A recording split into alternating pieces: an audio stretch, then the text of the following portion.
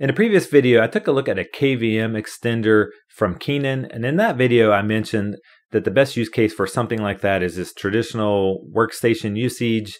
If you say, or like remote administration type work, if you want to have your PC separate from your display and mouse and keyboard for whatever reason. And it's not really intended or designed for gaming purposes, even though it does support 4K, it's only at 30 hertz. And so you wouldn't have high refresh rates and frame rates that you might want if you want really smooth gameplay.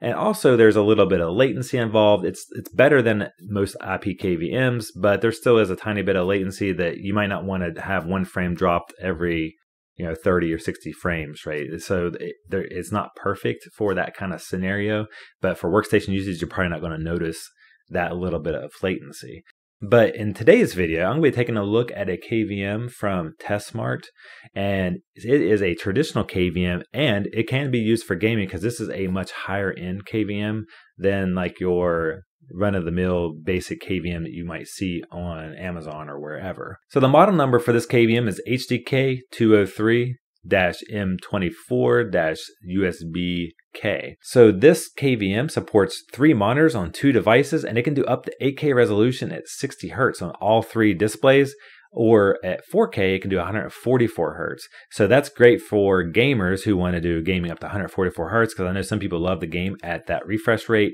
to get 144 frames buttery smooth without any screen tearing. And this KVM also supports the various features of displays such as G-Sync, FreeSync, and it has HDR support and all those types of things that you might want for gaming and uh, perhaps even just watching videos as well. If your screen supports HDR and you have you know HDR videos. On the front of the KVM has a nice brush panel with some RGB lighting and it has four USB ports. Two of them are labeled for mouse and keyboard and two of them are labeled as five gigabit ports that are basically USB 3.0 ports.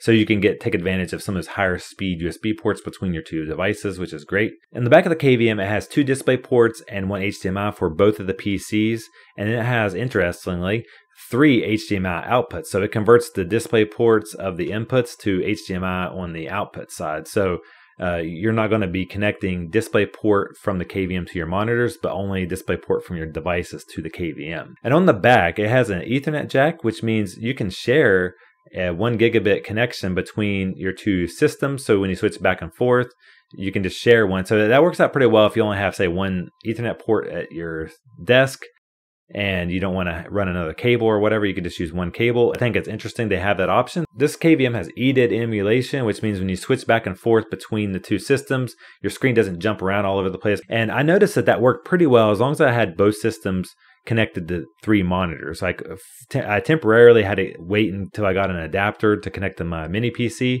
because it has two HDMI ports and one display port. So I needed an HDMI to display port adapter. One thing I noticed about this KVM is that it has fans and the fans are actually kind of noisy. It doesn't, they don't run for very long because the KVM does get a little bit warm. I imagine it would be, get warmer if you're probably pushing it to its limits, maybe using higher refresh rates, higher resolutions, and that kind of thing, perhaps pushing more data through it. It's up to 48 gigabits per second or something like that. That's what it says. It can push through all of the interfaces.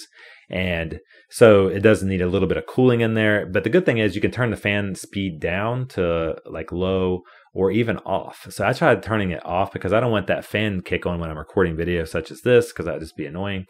Uh, but I when I touch the KVM, since I'm not pushing it to its limits, and it's just under my desk on my desk here, and my office is relatively cool in here.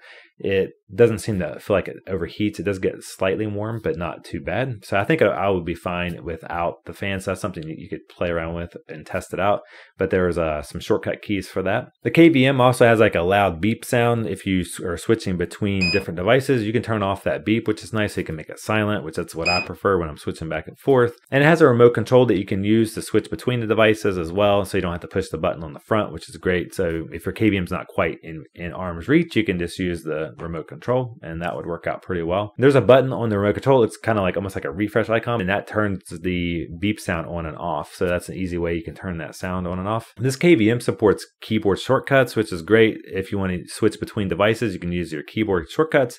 And this keyboard shortcuts are also used to turn on and off the, the sound and control the fan volumes and that sort of thing. The KVM comes with a remote control, a power cord, some rubber feet, and all the cables you need to connect both PCs to the KVM. You'll need to provide your own HDMI cables to connect the monitors. One common use case for this KVM is to connect a gaming PC and a standard workstation PC or laptop to the KVM so that you can switch back and forth between gaming and your work machine. On the back of the KVM, you can connect the PCs with the provided cables. To keep things more organized, I use some Velcro straps because there's a lot of cables when you have triple monitors. Then I plugged three HDMI cables into all three of my displays. Since my mini PC only has one display port, I try to use this adapter, but it only goes one direction. So I got a different adapter to connect the display port, and it has an HDMI and a USB cable attached so that it can replicate the functionality of DisplayPort. So here's the adapter connected to the HDMI port of the PC and it's connected to the DisplayPort cable which is connected to the KVM. So instead of your desk being cluttered with an extra mouse and keyboard for a second system, you can have a nice clean desktop with the KVM and connected to both systems at the same time.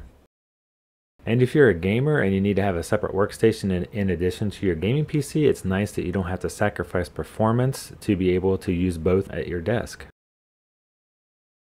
If you're interested in this product, I have a coupon code that TESmart sent me that is good for so long after this video is released. And I also have an affiliate link if that coupon code is expired and you want to support my work on this channel. Um, I would appreciate that. And I'll catch you guys in the next video. I'm Dustin Casto, signing out.